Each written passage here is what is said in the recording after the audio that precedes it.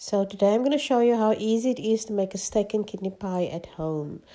If you don't like kidneys, you can omit it and add some extra pepper, black pepper, to make it into a nice peppery steak pie. So to start off, you'll heat some oil in a pot. Add one roughly chopped onion,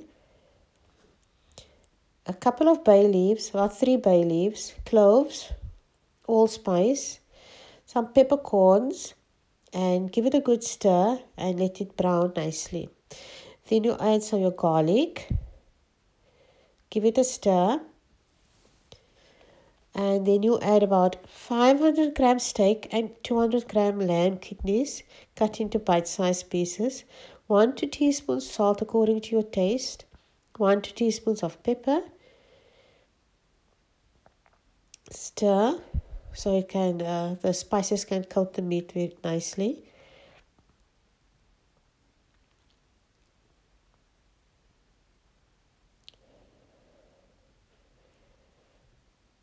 And add some water as needed. So don't and then you'll leave the put the lid back on. So then you'll cook it until it's nice and tender. The meat is tender in the meantime, you'll soak about two tablespoons of sago in about half a cup of water. And when your meat is nice and tender, you'll add the sago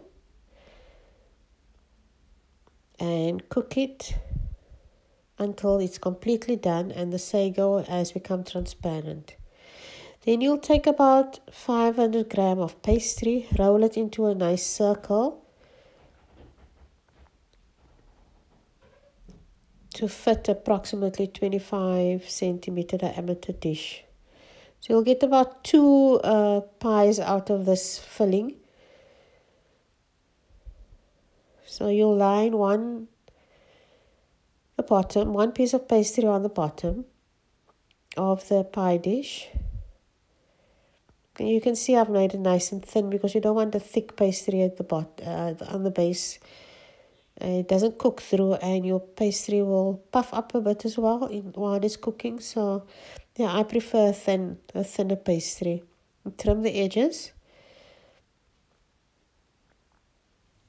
But you can if you prefer your pastry to be a bit thicker you can obviously roll your pastry thicker.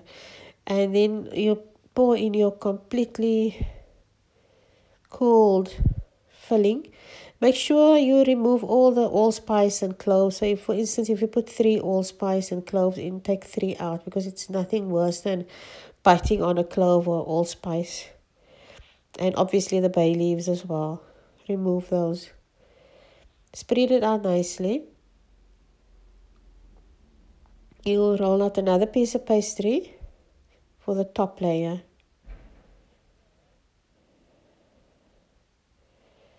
And I've got a pastry recipe on uh, Facebook and YouTube as well. Just have a look for um, Cape Malay Cooking, Salwaa Smith, and then you will find my pastry recipe as well. The link to my pastry video tutorial. Okay, so you'll put the top layer on and then close it nicely and trim it, the excess.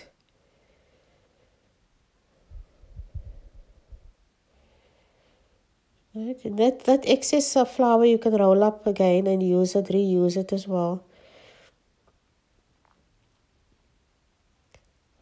So I always take a, a small, a thin strip to make the edges and then we'll crimp the edges. Now you don't need to crimp it as well, you can just uh, finish it off by pressing the, uh, uh, the edges together and maybe use a fork as well to crimp it right and then make a few slits on top for the air for it to cook through.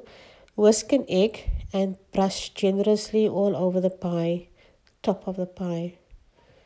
The uh, egg wash gives a nice golden color to the finished pastry or pie and then you'll bake it for about 25 minutes at 180 degrees Celsius or until nicely browned.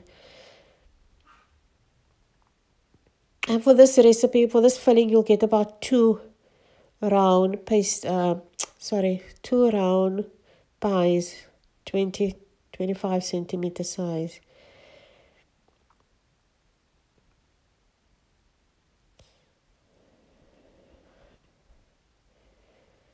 And there you have it, as easy as pie. Thank you for watching and don't forget to share this video so others can benefit. And uh, have a, a look on Facebook and YouTube at Cape Malay Cooking for further and more recipes. Thank you. And video tutorials.